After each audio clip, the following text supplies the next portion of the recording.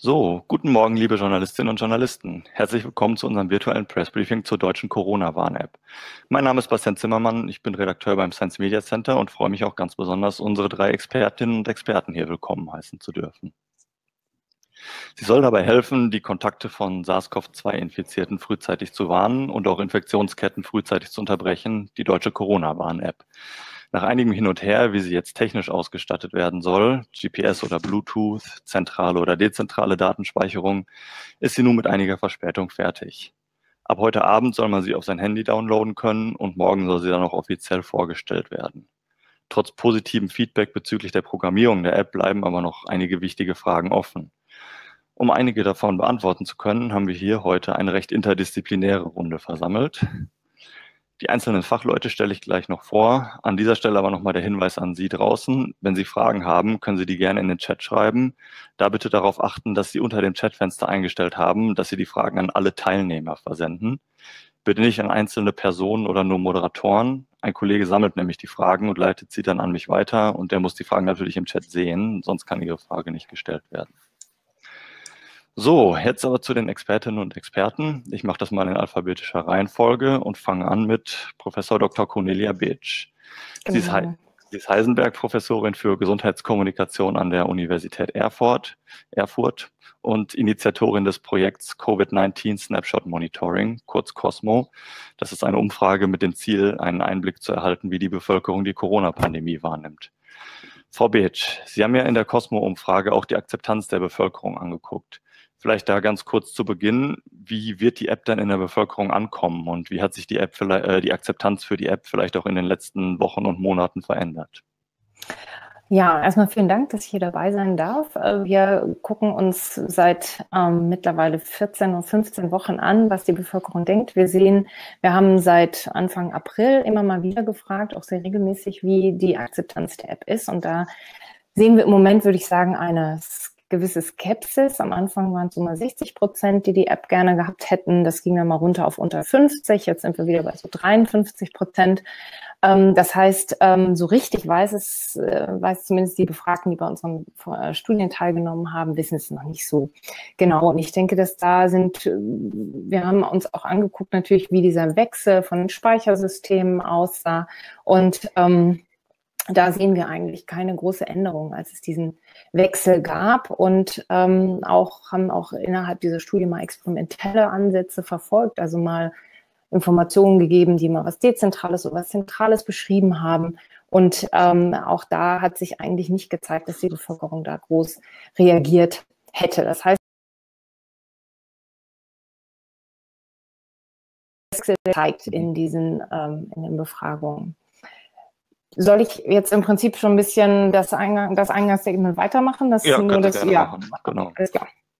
Ähm, ich wollte Ihnen nur jetzt keine, äh, den anderen keine Redezeit mopsen. Alles gut. Ähm, insgesamt zeigt sich in den Daten, wir haben ja viele Befragungen auch experimentelle gemacht, drei Dinge sind da relevant. Einmal ist die Freiwilligkeit, wir haben die Datenteilungsbereitschaft angeguckt und das Vertrauen in die Behörden.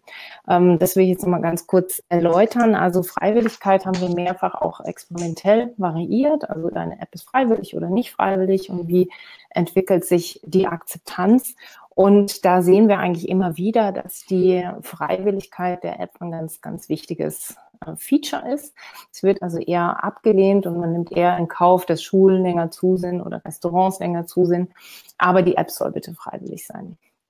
Und ähm, das ist jetzt keine generelle Ablehnung von irgendwelchen Verpflichtungen. Wir sehen bei Masken das zum Beispiel anders. Da wird eine Pflicht eher befürwortet, sondern es scheint wirklich was sehr Spezifisches für diese App zu sein. Und eine Studie mit Kollegen aus Kopenhagen hat auch noch gezeigt, dass die Leute zwar wissen, dass, die, dass eine Verpflichtung dieser App oder auch eine Quasi-Verpflichtung, also ein Einsatz, man kann eher ins Restaurant gehen, wenn man die App hat, zum Beispiel, dass so eine Art Quasi-Verpflichtung zwar als effektiver wahrgenommen wird, aber ähm, trotzdem dann eher diese App abgelehnt wird. Also das ist die Freiwilligkeit. Das andere ist die Datenteilungsbereitschaft. Das ist natürlich bei dieser App, wie sie jetzt äh, konzipiert ist, auch sehr wichtig, denn jeder, man muss die App nicht nur haben, sondern dann auch im Falle einer Infektion bereit sein, die Daten ähm, zu teilen. Und da sehen wir, dass bei den Leuten, die die App runterladen, diese Datenteilungsbereitschaft sehr hoch ist. Also das ist schon mal sehr positiv. Die ist auch gestiegen über die Zeit. Und hier spielen vor allem Risikowahrnehmung und Vertrauen in die Behörden eine Rolle. Und das ist ein ganz zentraler Punkt. Der dritte, das Vertrauen in die Behörden. Das ist über die Zeit immer der wichtigste Faktor gewesen, ob die Leute bereit sind, sich diese App ähm, runterzuladen. Ich denke, ähm, derzeit nehme ich noch ein bisschen wahr, dass es sehr wenig Informationen gibt, was denn dann mit der Person ist, die eine solche Warnnachricht bekommt, also dass sie ein erhöhtes Risiko hat. Ich denke hier, ähm, wir haben das auch innerhalb von Cosmo für, für, für, ab und zu abgefragt. Da geht es wirklich stark darum, dass man sehr klare Anweisungen gibt, was die Person dann machen soll, dass man sie da nicht im Ungewissen lässt. Leute wollen da konkrete Hinweise haben, wie sie dann vorgehen sollen. Und ich denke, der Erfolg der App wird sehr stark davon abhängen, wie die Institutionen, die dann damit verbunden sind, das hören wir jetzt sicherlich gleich auch noch im Gesundheitswesen, also die Gesundheitsämter, die Ärzte, ähm, dann nachher die Informationen rausgeben, was dann zu tun ist. Aber das ähm, erstmal so aus der psychologischen Sicht. Mhm. Ja, vielen Dank. Dann ähm, kommen wir als nächstes zu Professor Dr. Marcel Salaté. Er ist Professor für digitale Epidemiologie an der ETH Lausanne in der Schweiz und ist auch maßgeblich an der Schweizer Tracing App beteiligt. Herr Salaté, zu Anfang vielleicht direkt die wichtigste Frage. Man hat in den vergangenen Wochen und Monaten ja viel davon gelesen, dass die Entfernungsbestimmung mittels Bluetooth so ihre Ungenauigkeiten hat.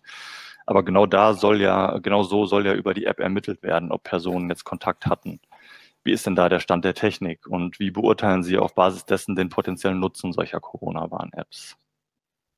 Genau, also auch von meiner Seite vielen Dank für die Einladung. Ähm, ja, das ist so, es gibt in der Tat da natürlich Unschärfen, aber ich glaube, man muss äh, mal mit am, am Beginn sehen, was eigentlich wirklich auch das Ziel dieser App ist. Diese, diese Apps, ähm, ob jetzt das die Corona-Warn-App ist, die Swiss Covid oder viele andere, die jetzt ähm, da überall loslegen, die sind ja alle auf diesem, auf dieser Schnittstelle von Google und Apple aufgebaut, dieses Exposure Notification. Und hier geht es eben darum, Leute zu informieren, falls sie ähm, in der Nähe von Personen waren, die, diesem, die dieses Virus hatten, in einem Zeitfenster, das epidemiologisch relevant ist. Und ähm, da ist es, glaube ich, auch immer ganz wichtig, ähm, klar zu sein, dass diese Apps ja nicht das normale Contact Tracing ersetzen sollen, sondern als unterstützende Maßnahme dienen. Und wenn man da mal zurückgeht und sagt, wie funktioniert denn eigentlich das Contact Tracing, dann sieht man, dass natürlich auch da diese Unschärfe vorhanden ist. Man spricht ja mit den Personen, man, man fragt sie, mit wem warst du in Kontakt? Und wir definieren jetzt mal Kontakt typischerweise in Europa als zwei Meter, äh, mindestens 15 Minuten. Das sind keine wissenschaftliche präzise ähm, Größen. Es ist ja nicht so, dass man bei 1,95 Meter angesteckt werden kann und bei 2,05 Meter nicht mehr. Das sind einfach Abschätzungen, die, die sind einigermaßen gut abgestützt von anderen Tröpfchen übertragbaren Krankheiten und vor allem einfach auch praktische Richtwerte. Also da gibt es auch eine große Unschärfe. Man versucht jetzt einfach mit diesem Bluetooth-Protokoll ähm, diese Näherung abzuschätzen. Und das ist ganz wichtig, das immer zu sagen. Es ist eine Abschätzung. Das, das Bluetooth-Protokoll wurde nie entwickelt, natürlich, um Distanzmessungen zu machen. Man benutzt einfach die Abschwächung des Signals, um zu sagen, war das einigermaßen nahe und war da, ähm, weil, weil die Distanz ähm, ähm schwächt das Signal ab und auch Objekte schwächen das Signal ab. Also wenn da zum Beispiel eine Wand dazwischen ist, dann wird das Signal auch stark abgeschwächt. Und so kann man das dann ähm, rausfiltern und sagen, ja gut, das, das Signal hier war stark genug, dass man davon ausgehen kann, dass hier zwei Personen wirklich nahe beieinander waren, genug nahe, um sagen zu können, das ist vermutlich ähm, besteht hier eine mögliche Übertragungsgefahr, ähm, so wie das auch beim normalen Contact Tracing ist. Da werden laufend Messungen gemacht äh, in Deutschland, in der Schweiz, ich bin sicher äh, auf der, auf der ganzen Welt. Und ähm, die werden natürlich dann auch die ganze Zeit angepasst. Wir müssen natürlich auch erstmal sehen, was dann in den nächsten Wochen eigentlich geschieht. Die Erfahrungen aus Italien im Moment zeigen zumindest, dass man hier nicht irgendwie Tausende von, von Alarmen kriegt ähm, und die Gesundheitsämter überrannt werden. Wir starten zumindest in der Schweiz hier eher ein bisschen auf der konservativen Seite. Mhm. Und auf Basis dessen, wie würden Sie dann so ein bisschen den Nutzen der Apps beurteilen? Also würden Sie sagen, das ist ein sinnvoller ergänzender Faktor? Ja, genau, so würde ich das beschreiben, sinnvoll ergänzend. Also das war von Anfang an, glaube ich, nie die Idee, dass man hier sagt, man hat hier die App als, als, als Wundermittel, äh, die alle anderen Maßnahmen unnötig macht. Das ist wirklich eine Unterstützung, weil man kennt ja auch die Stärken und die Schwächen des normalen Contact Tracings. Man versucht mit dieser App hier das zu unterstützen und deshalb ist es auch so wichtig, dass man bei dieser Unterstützung nicht ähm, zu stark in die Privatsphäre eingreift. Und das war halt zu Beginn ein bisschen die technische Diskussion über dezentral, zentral. Aber das ist jetzt mal erledigt. Mhm. Gut, und dann kommen wir zur letzten im Bunde, Dr. Ute Teichert. Sie ist Direktorin der Akademie für öffentliches Gesundheitswesen in Düsseldorf und Vorsitzende des Bundesverbandes der Ärztinnen und Ärzte des öffentlichen Gesundheitsdienstes e.V. Frau Teichert, Sie kommen quasi soeben aus einer Videokonferenz, unter anderem mit Jens Spahn und Lothar Wieler, in der die Grundfunktionen der App und die Rolle der Gesundheitsämter besprochen wurde. Was ist denn jetzt Ihre Einschätzung danach? Wie, was erhoffen Sie sich von der App und wie wird sich die App in die Arbeit der Gesundheitsämter eingliedern? Ja, schönen guten Morgen zusammen. Ich würde gerne direkt an das anknüpfen, sozusagen, wo Herr Salaté eben aufgehört hat, ähm, wenn ich das Thema Unterstützung sozusagen mal als Symbol nach vorne nehme. Ähm, mit der App bekommen wir jetzt einen Weg, sage ich mal, in einen neuen Medizinbereich, in den Bereich Telemedizin. Ähm, wir nehmen ein, ein technisches Hilfsmittel sozusagen äh, zur Unterstützung der Kontaktpersonenermittlung. Ähm, wir haben eben sehr ausführlich die einzelnen Funktionen erläutert bekommen. Es ist so geplant, ähm, dass die App, äh, wie gesagt, einen Warnhinweis für denjenigen gibt, der einen Kontakt gehabt hat. Ähm, und der kann dann selbstständig entscheiden, was er damit macht. Ähm, ob er andere Personen warnt, und auch welche Konsequenzen er daraus zieht. Und ähm, dieser Punkt, Frau Bitsch hat das ja auch eben angesprochen, ganz wichtig ist dieser Punkt Freiwilligkeit. Ähm, das führt natürlich dazu, dass es, so habe ich es auch gerade von Ihnen verstanden, Frau Bitsch, eine höhere Akzeptanz in der Bevölkerung gibt. Ähm, man muss aber wissen, es gibt keinen Austausch der Daten und ich glaube, das ist auch das, was für die Bevölkerung wichtig ist, was aber auf der anderen Seite natürlich für die Gesundheitsämter ein bisschen schade ist. Ähm, ähm, da muss man abwägen gegeneinander. Für uns wäre es natürlich wesentlich einfacher in der Arbeit. Wir würden die Daten sozusagen auch direkt bekommen aus diesem System heraus. Das ist aber definitiv nicht vorgesehen. Also es ist ganz klar getrennt. Ähm, wahrscheinlich auch zur Beruhigung für alle Datenschützer, erhöht auch mit Sicherheit die Akzeptanz in der Bevölkerung. Für die Gesundheitsämter ist es dann aber natürlich ein, ein Add-on ähm, so wie Sie es gerade gesagt haben, unterstützend Zusatz. Das heißt, wir werden jetzt neue Kontaktpersonen ähm, bekommen über die App, die wir wahrscheinlich auch ohne die App gar nicht bekommen hätten, weil man äh, ja bisher sozusagen auf den Faktor Mensch angewiesen ist, also auf die Erinnerung der Person in der Kontaktpersonenermittlung. Und da habe ich jetzt eine technische Unterstützung. So, ähm, das heißt, ich werde äh, sicherlich mehr äh, Kontaktpersonen ermitteln und das ist natürlich eine gute Chance im Moment. Die infizierten Zahlen in Deutschland sind ja eher niedrig, ähm, so dass man auch nicht davon ausgehen muss, dass jetzt die Kontaktpersonenzahl rasant über die App erstmal ansteigen wird, sondern ich denke, das wird sich in einem händelbaren Rahmen halten. Und dann kann man halt gucken, wie entwickelt sich das. Ähm, der Bundesgesundheitsminister hat eben vorgestellt, dass auf jeden Fall ähm, die App auch weiterentwickelt wird, angepasst wird an den laufenden Betrieb. Ähm, es gibt also auch noch Probleme hinsichtlich der Laborschnittstellen, die sind noch nicht komplett drin. Also im Moment muss man unter Umständen noch eine Schleife drehen, weil noch nicht alle Labors in diesem System drin sind. Das wird aber jetzt im Laufe der nächsten Wochen nachgebessert mit den neuen ähm, App-Entwicklungen. So, ähm, für die Gesundheitsämter heißt es aus meiner Sicht, ähm, es ist eine Ergänzung der Kontaktpersonenermittlung, die mit Sicherheit äh, zu mehr Arbeit führen wird. Ähm, und das in einer Zeit, wo die Gesundheitsämter eh zu wenig Personal haben. Sie hatten schon vor Corona zu wenig Personal.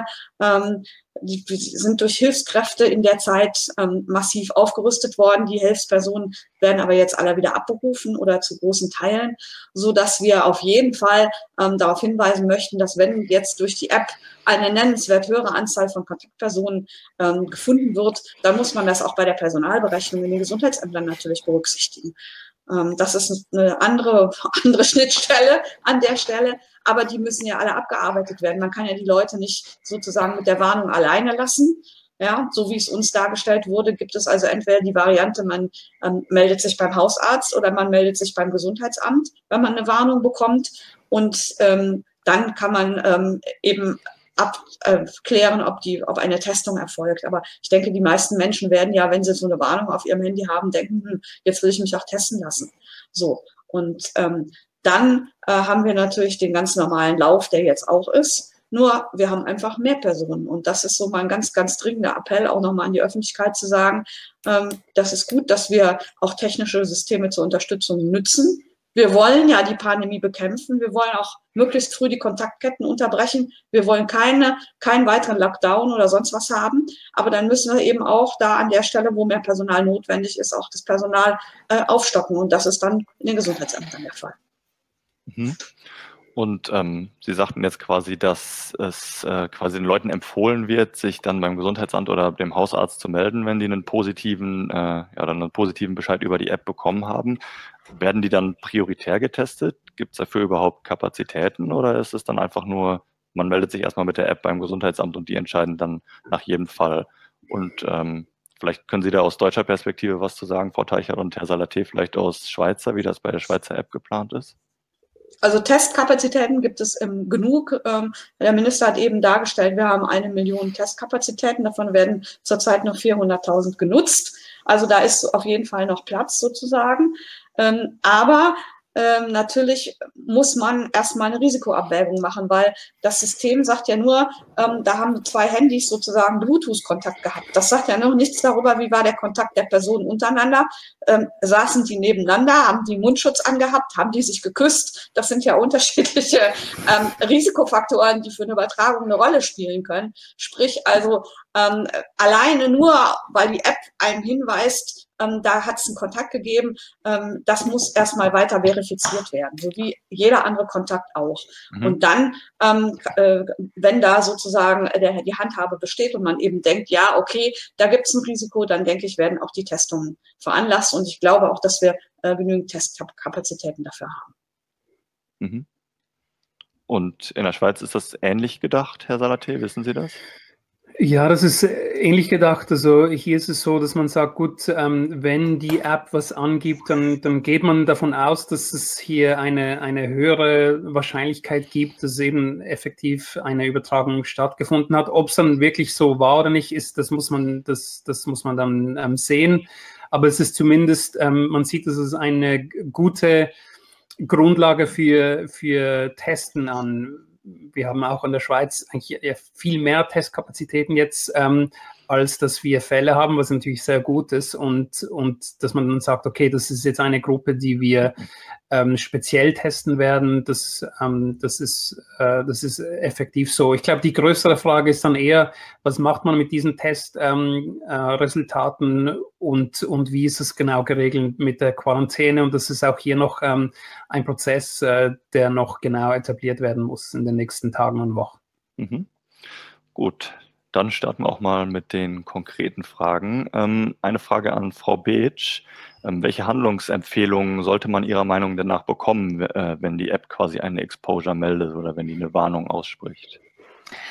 Ähm, ich war ja auch ganz am Anfang hier in diesem Konsortium, was hier angefangen hat, diese App zu entwickeln mit dem Fraunhofer Institut. Und da haben wir sehr lange darüber geredet, was muss die Person denn eigentlich bekommen, weil das natürlich auch ein arges Gesundheitsrisiko ist, dass sie auch möglicherweise bedroht. Ja? Ähm, Im Moment ähm, nimmt die Risikowahrnehmung da zwar wieder ab, aber da sollte sehr klar sein, also soll, wenn ich das jetzt in der Stadt bekomme, sollte ich mich dann in ein Taxi setzen oder soll ich meine Einkäufe noch weitermachen oder soll ich direkt nach Hause gehen, quasi nicht über los, sondern versuchen, möglichst schnell mich von anderen Leuten zu entfernen. Ich glaube, ich bin mir nicht sicher, ich habe diese App ja noch nicht gesehen, sehen, was dann für Nachrichten potenziell kommen können.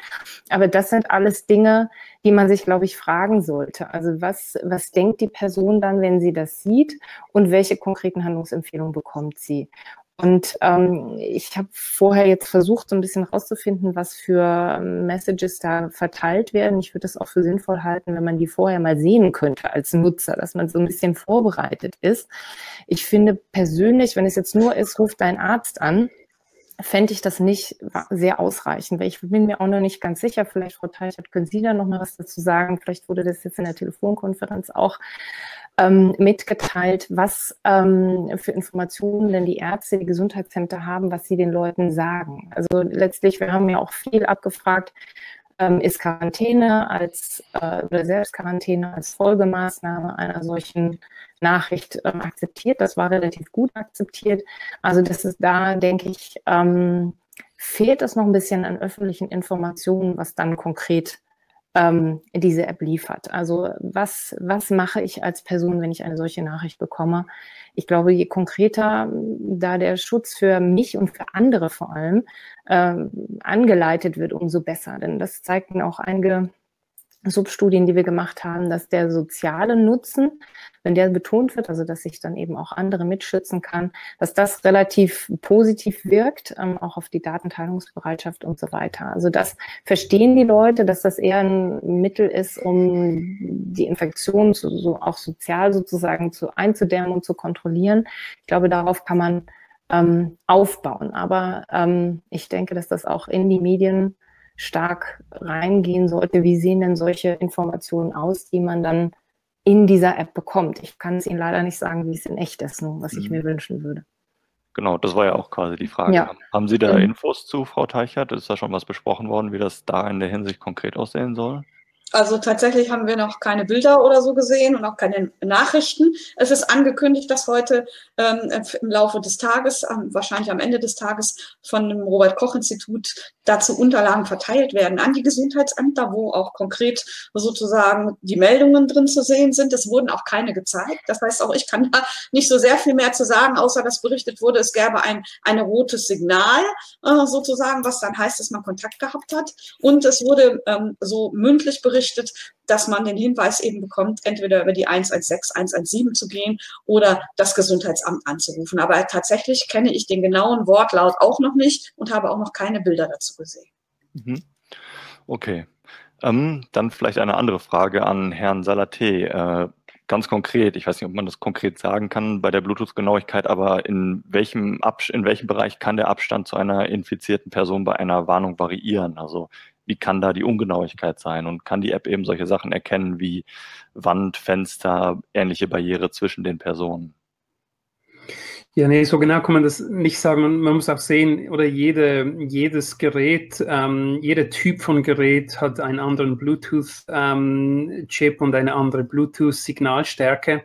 Da finden jetzt auch ganz viele Kalibrierungsmessungen statt und das geschieht natürlich auch teilweise auf der Seite der Hersteller letztendlich, ähm, ohne jetzt allzu groß in die technischen Details zu gehen, kann man als Entwickler dann letztendlich entscheiden, welches ähm, ist die Signalstärke, die ich ähm, als, als nahe oder nicht nahe empfinde. Und, und hier gibt es Messungen, ähm, die, und da wird es auch weiterhin viele geben, die zeigen, dass man bei gewissen ähm, Signalstärken eigentlich schon sehr stark eben davon ausgehen kann, dass diese Person wirklich ähm, in einem Radius von rund zwei Metern eben mit einer gewissen Unschärfe war. Die interessante Frage ist ein bisschen, was auch vorher angesprochen wurde, nicht jetzt unbedingt mit der Mauer oder so dazwischen, da kann man schon sehen, dass die Signale sehr stark abgeschwächt werden. Das kann man sehen. Aber eben Geschichten wie zum Beispiel diese Plexiglaswände, die jetzt überall sind oder auch Masken und so weiter. Hier haben wir uns auch immer gefragt, wie machen wir das? Messen können wir das ja nicht. Und ich bin hier völlig einig, auch mit, mit der Frau Teichert, eben, dass man wirklich sagt, ja gut, also das ist jetzt ein zusätzliches Mittel und letztendlich muss man das aber dann wieder eben mit einer Person besprechen. Ähm, man, man kann natürlich nicht, das ist natürlich Teil des Datenschutzes, dass man nicht genau sagen kann, du warst da und dort in Kontakt mit, mit dieser Person. Das würde eben die, den Datenschutz verletzen, aber dass man wirklich dann auch im Gespräch auf die Person eingeht und sagt, wie, wie sieht denn dein Alltag aus? Und wenn es sich da zum Beispiel herausstellt, dass jemand ähm, laufend unter sehr guten Schutzbedingungen gearbeitet hat, dass man dann vielleicht ein anderes, ähm, eine andere Maßnahme vorschlägt als jemand, bei dem das eben nicht so war. Also da ist der Mensch, finde ich, und, und der Prozess, der dann danach kommt, eigentlich viel, viel wichtiger noch, als ob jetzt äh, dieses Bluetooth, ähm, diese Bluetooth-Messung auf äh, 20 Zentimeter genau war oder nicht. Aber kann man da irgendeine grobe Angabe machen, dass man jetzt sagen kann, so Großteil der Fälle ist die Bluetooth-Ungenauigkeit ungefähr x Meter? Nee, weil das kommt auch wirklich äh, völlig auf ähm, die, die Umstände drauf an. In einem, in, einem, ähm, in einem Zug zum Beispiel ist die Situation wieder anders als draußen, wo es wieder anders ist als in einem Raum und so weiter. Das, das kann man so pauschal nicht machen. Man kann einfach sagen, dass man mit einer mit einer guten ähm, Wahrscheinlichkeit ähm, sagen kann, war diese Person in der Nähe. Auch da wird es natürlich Fehler geben. Wir müssen uns dessen bewusst sein, ähm, sogenannte False Positives, also wo man sagt, ja, die Person war in der Nähe, aber sie war eigentlich recht weit weg und aber auch natürlich aus epidemiologischer Sicht eigentlich eher problematisch die False Negatives, wo dann vielleicht jemand nah war, aber das wird nicht mit, mit der App aufgenommen. Also man muss, man muss sich im Klaren sein, dass auch hier ähm, eine Unschärfe bestehen wird. Wie gesagt, das ist nicht das, äh, das Wundermittel, es soll einfach eine Unterstützung sein. Mhm. Und dann noch eine Frage an Frau Teichert. Also die Kontakte bleiben ja anonym. Und dann ist die Frage, dann kann ja bei dem Kontakt, der über die App gemeldet wird, gar nicht genauer aufgeklärt werden, weil das Risiko gar nicht bekannt ist, weil der konkrete Fall ja im Endeffekt nicht bekannt ist. Und muss dann nicht eigentlich auch jeder einfach getestet werden, der eine Warnung erhält, weil man jetzt nicht wirklich über die App, äh, ja, über die App-Meldung den Unterschied der Kontakte äh, erkennen kann. Also über die App bekommt man so nur einen Hinweis, dass man Kontakt hatte und man bekommt auch nur den Tag. Man bekommt noch nicht mal irgendwie die Uhrzeit oder so genannt, so habe ich es vorhin verstanden.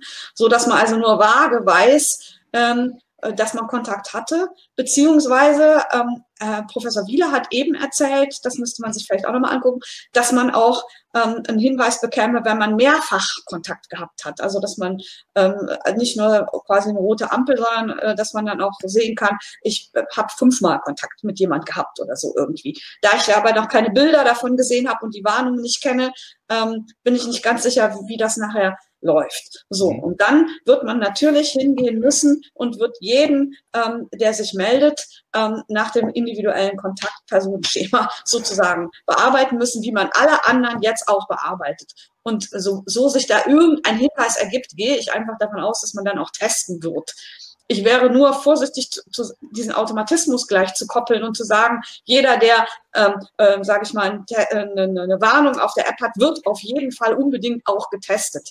Da, da denke ich immer, man muss es nochmal individuell abwägen, eben unter all den äh, Gesichtspunkten, die wir da jetzt gehabt haben. Und man müsste auch vielleicht den Leuten ähm, nach draußen mitgeben, dass man nicht sagt, also das bedeutet jetzt automatisch, ja, ich habe eine hohe Gefahr, weil ich habe eine rote Farbe da auf der App und um Gottes Willen und da passiert jetzt wer weiß Gott was, sondern nein, es ist ein Hinweis von mehreren in einer Kette ähm, von äh, Ereignissen, die man sich angucken muss. Und es bedeutet nicht automatisch, wenn ich eine rote ähm, Lampe da auf der App kriege, ähm, dass ich ganz besonders äh, hohe, hochgefährdet bin. Also ich glaube, da muss man auch so ein bisschen aufpassen, wie man das einsortiert insgesamt. Mhm.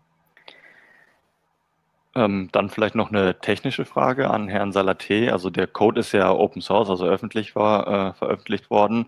Ähm, wissen Sie, was da so an Verbesserungsvorschlägen kam von außen und ob das quasi sinnvoll war? Ich denke mal in der, ich weiß gar nicht, wie in der Schweiz da der Prozess bei der App war, ob es da quasi auch so ein Open Source Feedback Prozess gab, aber kam da, mhm. kam da was an Feedback, kam da Sinnvolles? Ich habe, glaube ich, vor einigen Tagen auch gelesen, dass es da, äh, dass dann einige IT-Sicherheitler, dass sie da ein paar mögliche Sicherheitsfehler äh, gemeldet haben und äh, ich gehe mal davon aus, dass sie, wenn sie da einer gescheiten Practice gefolgt sind, die auch vorher an die Entwickler gemeldet haben und nicht direkt äh, veröffentlicht haben. Was wissen Sie da, was da so gekommen ist und war der ganze Prozess so damit sinnvoll? Ja, ja, der Prozess war sinnvoll. Also das war auch sehr transparent. Wir haben dieses ähm, Cyber Security Center, das bei uns beim Bund angegliedert ist, und da werden diese ähm, diese, diese Informationen, diese Inputs gesammelt und die werd, auf die wird eingegangen und das ist auch alles ähm, transparent und öffentlich. und da kommen laufend ähm, ähm, Inputs rein und die werden natürlich dann auch angegangen. Das ist ja auch genau die Idee. Also finde ich insbesondere auch die Stärke eines solchen Systems, dass man eben sagt, okay, wenn jemand eine Schwachstelle sieht, die eben noch niemand gesehen hat, dann bitte unbedingt melden, dass man die angehen kann. Das ist ja auch bei, bei hochprofessioneller Software, die wir alle jeden Tag benutzen, weiß man, es gibt da immer wieder äh, Schwachstellen, die sich noch niemand überlegt hat.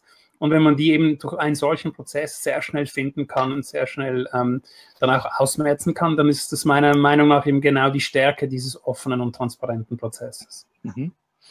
Und ähm, vielleicht noch direkt als äh, andere Frage aus dem ähnlichen Bereich. Inwiefern ist die App denn down-kompatibel mit älteren Betriebssystemen auf älteren Geräten? Ich meine, da gab es ja auch irgendwelche Listen, womit die kompatibel sind. Und ähm, welche Handlungsempfehlungen kann man Nutzerinnen geben, die einfach ein älteres System verwenden oder ein Handy, das nicht kompatibel ist? Gibt es da vielleicht auch schon irgendwelche Pläne? Also es war ja auch mal die Rede von irgendwelchen Wearables, also Armbändern oder so, die nur das Bluetooth-Signal aussenden. Ist da vielleicht auch irgendwas in Planung in der Hinsicht? Ja, das sind zwei gute Fragen, aber auch zwei unterschiedliche Fragen. Also es ist effektiv so, weil eben diese Schnittstelle jetzt existiert auf, dem, auf den Betriebssystemen, die eben 99, über 99,5 Prozent aller ähm, Smartphones halt auch haben. Da ist eine gewisse Limite drin, ähm, dass eben gewisse alte ähm, Geräte das nicht können. Und ich habe noch keine genauen Zahlen gesehen, aber ich habe gelesen, dass das im tiefen einstelligen Bereich ist oder allenfalls so bei 10 Prozent auch. Ähm, muss, müssen wir aber noch genau herausfinden. Aber das liegt nicht an den App-Entwicklern, sondern das liegt äh, eff effektiv in der Bereitstellung dieser Schnittstelle von den, von den Herstellern. Ob die da noch weiter zurückgehen in Zeit, ich persönlich hoffe es, damit da wirklich niemand äh, vorausgelassen wird. Die andere Frage, könnte man dieses Protokoll im Prinzip auch in ein in ein anderes Gerät, eben ein, ein kein, das kein Smartphone ist, wie zum Beispiel ein Armband. Ja, das könnte man rein theoretisch. Ähm, wir sind jetzt da im Moment noch nicht dran, weil wir wollen jetzt erstmal die Erfahrung sammeln mit, mit den Mobilgeräten, die die Personen haben, und, um dann auch zu sehen, ob das überhaupt funktioniert. Ich glaube, man muss da auch immer ähm, eine gewisse Offenheit haben, dass man sagt, gut, wir versuchen das ähm, aber wir müssen auch ehrlich sein und sagen, man könnte, äh, es könnte sich auch zeigen, dass das alles gar nicht funktioniert am Schluss. Und man muss die Übung wieder abbrechen. Ich denke es eigentlich nicht, aber ähm, man muss da offen sein. Und ich denke, bevor wir jetzt wirklich noch, noch weiter rausgehen und sogar noch zusätzliche Hardware entwickeln, testen wir das erstmal mit den Smartphones und, und schauen, wie das geht. Das wäre meine Meinung. Mhm. Dann ähm, meine Frage so ein bisschen an Sie alle, da kann wer auch immer sich am berufensten fühlt, sich dazu gerne melden, dass äh, die Frage, wie viel Prozent der Bevölkerung mitmachen müssen, damit die Warn-App ein sinnvolles Instrument ist.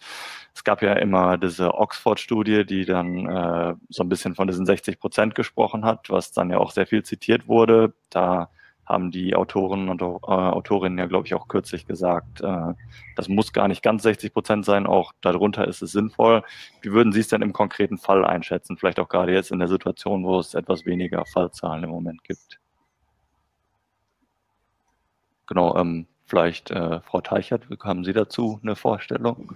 Ja, ich habe eine Vorstellung. Ich glaube, dass jeder, der, das, der die App nutzt, ein Gewinn ist. Ähm, ich würde auch nicht denken, dass man das jetzt sozusagen an, an irgendeinem Fixpunkt 60 Prozent oder 40 oder 50, besser verschiedene Zahlen durch die äh, Gegend, ähm, dass man das daran orientieren sollte, sondern ich würde eher denken, es ist eine Chance und selbst wenn es nur wenige nutzen, würde es uns ja neue Erkenntnisse bringen. Wir nutzen ein neues technisches Medium zur Unterstützung äh, einer anderen Geschichte und wir werden auf jeden Fall daraus lernen. Also ähm, wir werden das ja auch weiterentwickeln. Wir werden all die Fragen, die sich jetzt stellen, dann auch mal im Echtbetrieb sehen. Insofern ist für mich jeder einzelne Nutzer sozusagen der Richtige und wird das System nach vorne bringen. Je mehr es machen, ist natürlich umso besser. Aber ich würde nicht sagen, wenn nicht mindestens so und so viele daran teilnehmen, dann ist das System gescheitert. Das finde ich falsch, weil ich glaube, es ist eine historische Chance, ähm, dass wir jetzt mit einem neuen System neue Wege gehen und ähm, das sollten wir nutzen. Ja, und nicht es äh, daran äh, festmachen, äh, nach dem Motto, das ist ein Misserfolg, wenn es nicht so und so viele anwenden. Und je mehr es, also es wird sich auch verbreiten, die Leute werden sich darüber unterhalten, ähm, werden sich das gegenseitig erzählen und dann wird man ja sehen, ob das eine hohe Akzeptanz findet oder nicht. Mhm. Mhm kann ich vielleicht auch noch was ergänzen. Also ich glaube, ich würde da auch an die Neugier der, auf die Neugier der Leute setzen. Das ist eine neue App, was man kann mal ausprobieren, was dann passiert. Dann ist natürlich wichtig, dass wenn mir was angezeigt wird, die meine Gesprächspartner mir eine Sicherheit vermitteln, dass sie auch wissen, was ich damit jetzt machen soll. Ich glaube, wenn ein Framing dieser Situation, was hat Herr Salatier auch gerade schon gesagt, ist vielleicht auch so eine Art Citizen Science Projekt. So wurde das auch ein bisschen mit den äh, Pulsuhrenprojekte des RKI mitbetrieben. Ja, wir alle tragen dazu bei, dass wir was Neues lernen darüber, wie man eine Pandemie bekämpfen kann und können unseren Teil dazu beitragen. Das muss nicht von vornherein immer alles funktionieren und perfekt laufen, sondern das ist ja auch Work in Progress. Und ich glaube, dass diese diese Art von Framing vielleicht auch ein ganz interessanter Ansatz ist, ähm, dass, ähm, der dazu beitragen kann, die Bereitschaft ähm, hier zu erhöhen. Mhm. Und das spielt jetzt quasi schon in die nächste Frage rein, die ich geplant hatte. Also wie sollte die Bundesregierung denn jetzt die Bürger von der App überzeugen? Also was tut sie und wissen Sie vielleicht auch schon, was da so an PR-Kampagnen in Anführungszeichen so geplant ist? Also irgendwie DFB soll das ja, glaube ich, auch vermarkten oder so. Äh, ich weiß nicht, ob Sie, also was halten Sie dafür sinnvoll? Fragen Sie mich das auch? Genau. Ja, äh, ich weiß nicht, was konkret geplant ist. Ähm, wir teilen natürlich diese Kosmodaten, die wir jede Woche haben, auch mit dem Gesundheitsministerium. Da kommt natürlich einfach immer raus, Vertrauen in die Regierung ist wichtig. Ich, äh, da das aufrechtzuerhalten ist natürlich relevant. Und äh, aus der Marktforschung ist immer klar, dass wenn beliebte Leute das nutzen, dann möchten andere das auch haben. Also das ist sicherlich ein, ein sinnvoller Ansatz, um das ähm, zu vermarkten. Ich denke, was wir in den Daten Daten sehen, ist, dass ähm, der Datenschutz im Zweifel am persönlichen Vorteil für viele, die es nicht wollen, relevant war. Darauf kann man natürlich reagieren über korrekte Informationen. Wir sehen auch, dass Leute, die viel Informationen suchen, eher diese App haben wollen. Das heißt, sowas wie ein integriertes Informationsfeature könnte noch etwas sein. Ich weiß auch nicht, ob die App das haben wird. Ähm, was Leute dazu bringt, äh, diese App zu nutzen, also sich über Corona umfassend zu informieren, was gibt es Neues, wie viele Fälle und so weiter. Das könnte was sein, was eben auch noch ähm, ein Zugpferd ist. Und ansonsten sehen wir natürlich, dass der potenzielle soziale Nutzen, also dass ich auch andere damit schützen kann und auch dazu beitragen kann, dass das soziale Leben wieder läuft. Ähm, das sind alles Aspekte, die die Leute positiv und als ähm, Zielargumente gesehen haben. Mhm.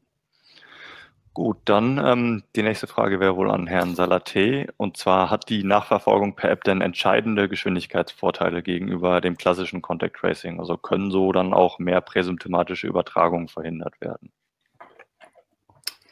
Ja, theoretisch. Ähm, also das ist auch wieder eine operationelle Frage. Man, man darf hier wieder, ich glaube, es ist immer wichtig, einfach dies, diese App wirklich als, als ein Teil in einem gesamten Prozess zu sehen. Und da muss wirklich alles mitspielen.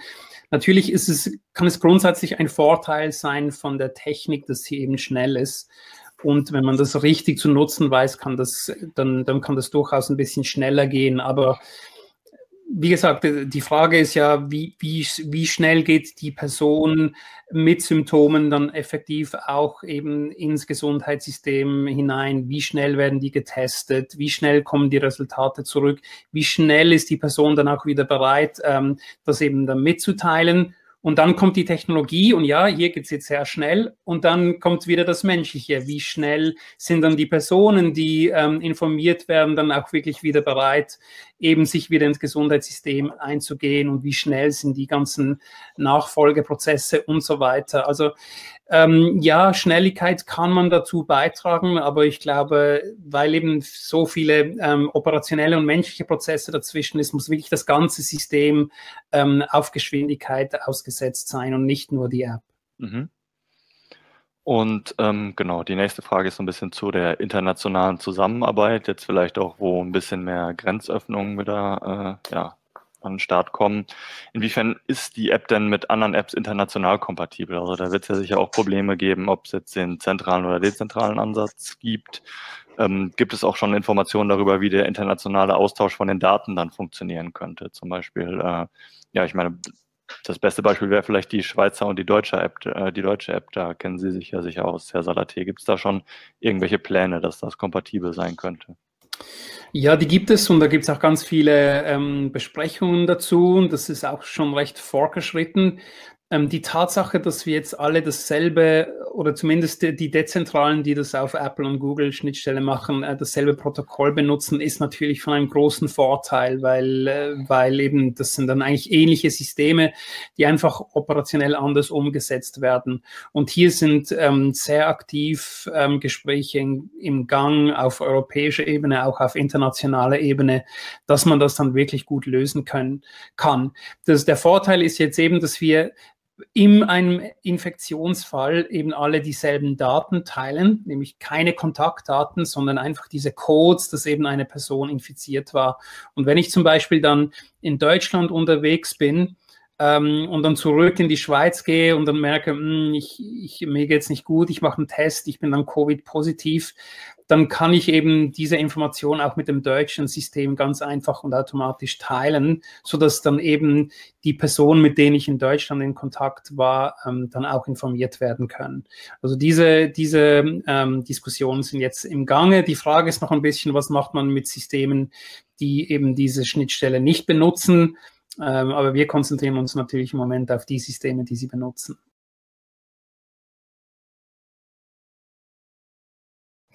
Smart, nach den Smartphone-Nutzern in Deutschland und hatten nicht gerade ältere Leute, also eben die Risikogruppe, haben die nicht eben kein Smartphone. Und äh, Frau Beetsch, vielleicht gibt es da in Ihren Daten auch schon so ein bisschen Hinweise dazu, wie die unterschiedlichen Altersgruppen die App nutzen wollen oder wie die Akzeptanz nach Altersgruppen verteilt ist? Also dazu kann ich zumindest sagen, dass Alter nicht durchgängig ein äh, signifikanter Prädiktor war. Also es ist jetzt nicht so, dass nur die Jungen oder nur die Männer oder nur die jungen Männer oder irgendwelche Kombinationen davon äh, jetzt besonders besonders heiß auf die App gewesen wären, sondern es ist tatsächlich das Vertrauen in die ähm, Behörden, die Häufigkeit der Informationssuche und ähm, noch ein weiterer Faktor, der mir gerade nicht einfällt, ähm, waren die relevanten Prädiktoren über die Zeit.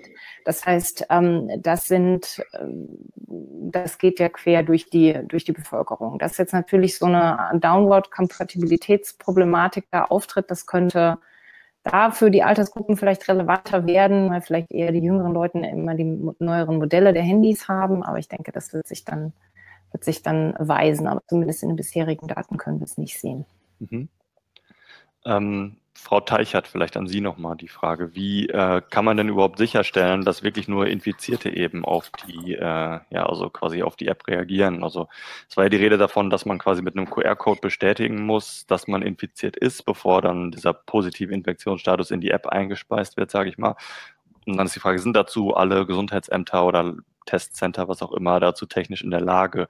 Und dann war ja die Rede davon, dass es da vielleicht solche Callcenters, äh, die dann von der Telekom auch eingerichtet werden könnten, geben soll, um ja das dann per TAN und nicht per QR-Code quasi die Verifizierung zu machen. Ist das datenschutzrechtlich sauber und inwiefern ist das quasi geplant? Also zum Datenschutz kann ich nichts sagen. Das ist nicht meine Baustelle, aber ich kann Ihnen erzählen, äh, wie das ähm, uns heute vorgestellt wurde. Also tatsächlich die Labors ähm, sollen alle angeschlossen werden. Die Labors, die die ähm, Tests durchführen. Und die sollen alle, also wenn man sozusagen zum Test geht, dann bekommt man einen QR-Code. So, nun ist es aber so, dass es noch nicht flächendeckend verteilt ist. Also dieser Prozess läuft wohl noch, dass die Labors angeschlossen werden. Einige oder viele sind wohl schon, aber noch nicht alle.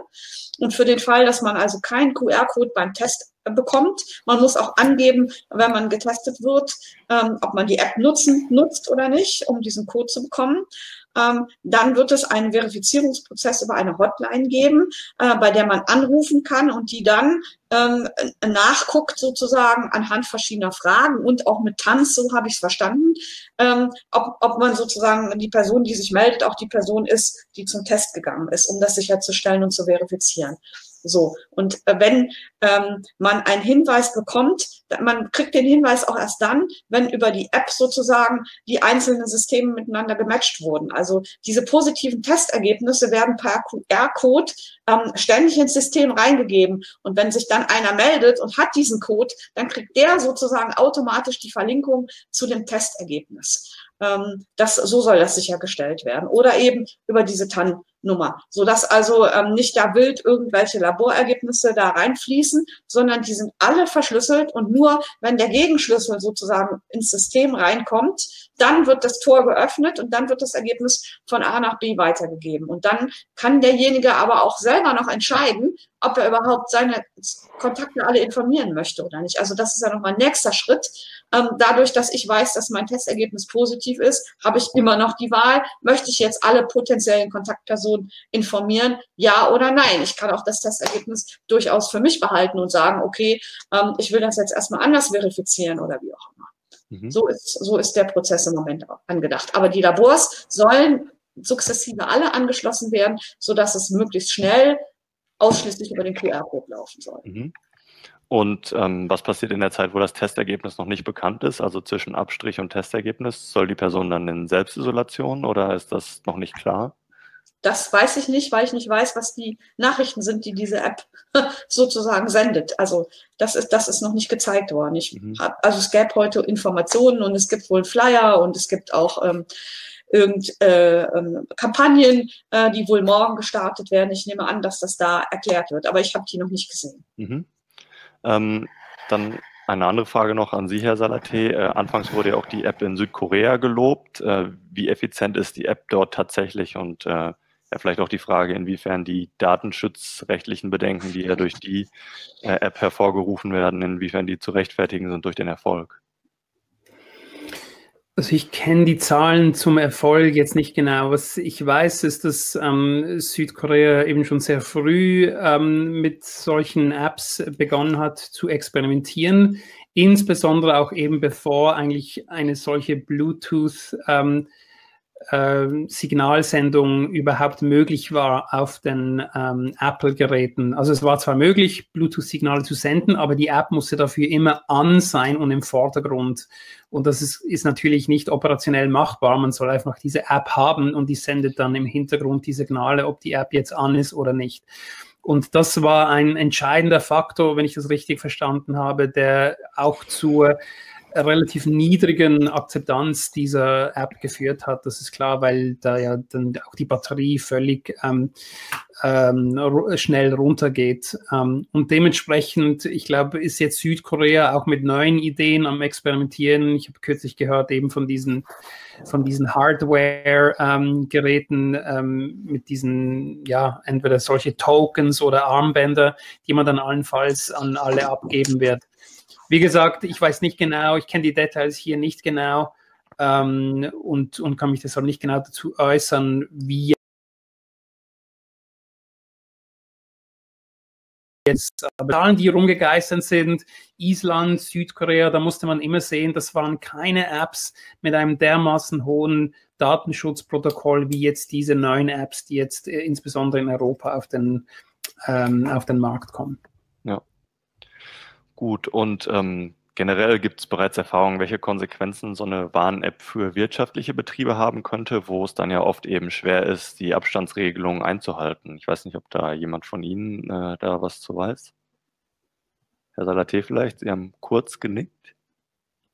Ähm, nee, ich habe genickt, weil ich es eine interessante Frage finde. Ähm, ich habe äh, keine, keine konkreten Daten jetzt aus der Schweiz oder aus Italien gehört. Ich meine, die Schutzkonzepte, die, die, die sind ja sowieso gegeben mit oder ohne App, ähm, dass sich die Betriebe hier ähm, versuchen natürlich auch die, die, eben diese Schutzkonzepte zu entwickeln, um die, um die Pandemie einzudämmen. Da denke ich nicht, dass die App per se einen großen Einfluss drauf haben wird. Mhm. Und vielleicht nochmal zu den Kosten. Also es ist ja die Rede davon, dass die deutsche App 20 Millionen Euro kostete und äh, vielleicht auch nochmal zweieinhalb bis 3,5 Millionen monatlich. Äh, für die Schweiz war dann die Rede von äh, 1,8 Millionen, sagt der Journalist oder die Journalistin. Ist die deutsche App zu teuer im Vergleich? Ist, ist das eine Frage an mich? Äh, wahrscheinlich nicht, oder? Ich kann, ich kann, nicht, äh, ich kann nichts zu den Kosten in Deutschland sagen. So, so ein bisschen, wer sich berufen fühlt. Ich weiß jetzt nicht genau. Äh, hier kann ich keinen, keinen Experten oder Experten als die perfekte Ansprechpartnerin finden. Aber ja, ich meine, Sie kennen ja so ein bisschen den Vergleich zwischen den beiden Apps. Also ich, ich, ohne mich hier jetzt ins Feuer zu begeben, ich würde sagen, was allem wichtig ist, ist, was, was Frau Teichert vor, vorhin auch ähm, angetönt hat. Ich meine, die App-Entwicklung selber ähm, ist ein Teil, aber wie gesagt, letztendlich geht es um die Einbindung des ganzen Prozesses und, und das Personal dann auch, das benötigt wird und so weiter. Und ich glaube, da, da kann man dann wahrscheinlich am Schluss ein, eine gute Rechnung machen, aber jetzt ist es wahrscheinlich noch zu früh zu sagen, wieso kostet diese App X und diese App Y. Mhm.